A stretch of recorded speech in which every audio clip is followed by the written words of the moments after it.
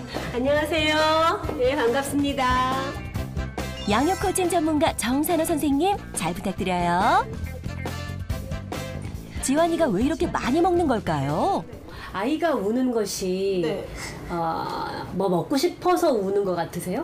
처음에는 얘가 왜 울까 해서 네, 한 네. 달래주기만 2, 30분 보내요. 네, 네.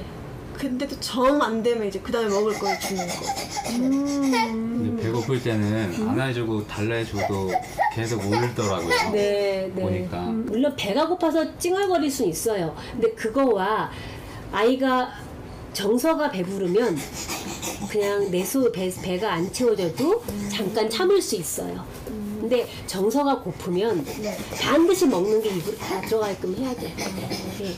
식탐은 아마 그래서 늘어났을 거예요. 좀 사랑을 많이 못 받은 그런 게 있긴 있거든요. 아, 둘째이기도 하고. 네.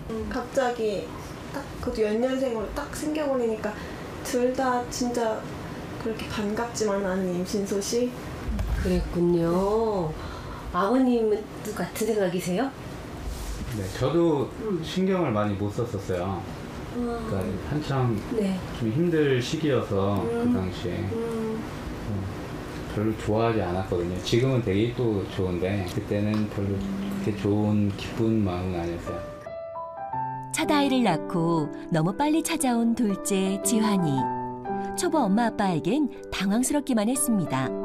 마음껏 주지 못한 사랑이 늘 미안할 뿐이었습니다. 놀이가 없는 시간에 먹어요. 끊임없이 심심하니까. 그래서 지금부터 놀이가 좀 필요할 것 같아요. 근데 우리 지환이네 집에 신문지 있나요? 네, 신문지. 있어요. 그리고 어, 아이가 분유를 먹으니까 깡통. 네. 음, 깡통이랑 그다음에 혹은 나무 젓가락. 음, 네, 그것도 네. 있어요. 집에서 쉽게 구할 수 있는 놀이 재료들이 준비되고 전문가의 놀이 시범이 본격적으로 이어졌습니다. 평소 놀이에는 별 관심이 없는 줄 알았던 지환인데 간단한 놀이에 신이 났습니다. 먹을 시간에 이게 놀이에요. 음, 먹을 시간. 이게 대본이 움직이기 좋거든요. 네. 스트레스 쌓을까 되게 좋을 거예요. 찍는 거. 삐 날린다. 식탐 왕자 지환인의 코칭 포인트 하나.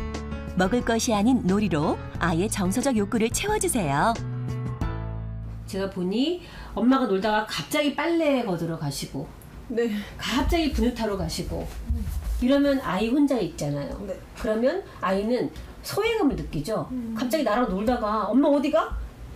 어, 어, 서운한 거죠. 그럼 때를 쓰는데 그때 때를 쓰는 건 엄마 함께 있어줘. 나랑 놀다가 어디가? 근데 엄마는 엄마 볼일 보러 간 거예요. 그리고 돌아와서는 입에 뭐 넣어주죠.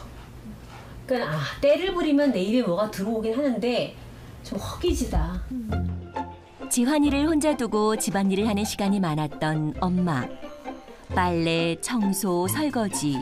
넘치는 집안일에 지환이는 종종 엄마를 뺏기고 말았는데요.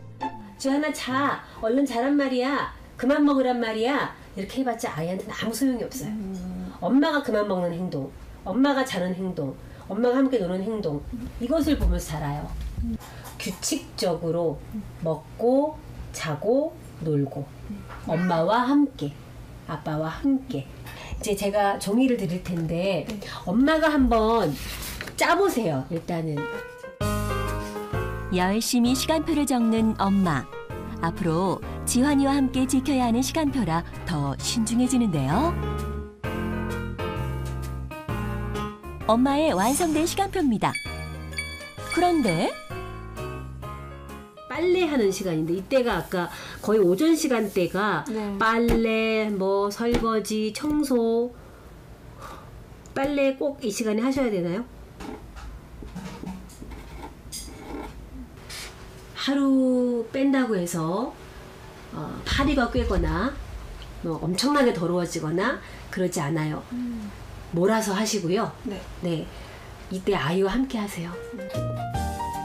다시 시간표를 고쳐보는데요. 지환이와 함께하는 시간이 눈에 띄게 늘어났네요. 식탐 왕자 지환이네 코칭 포인트 둘.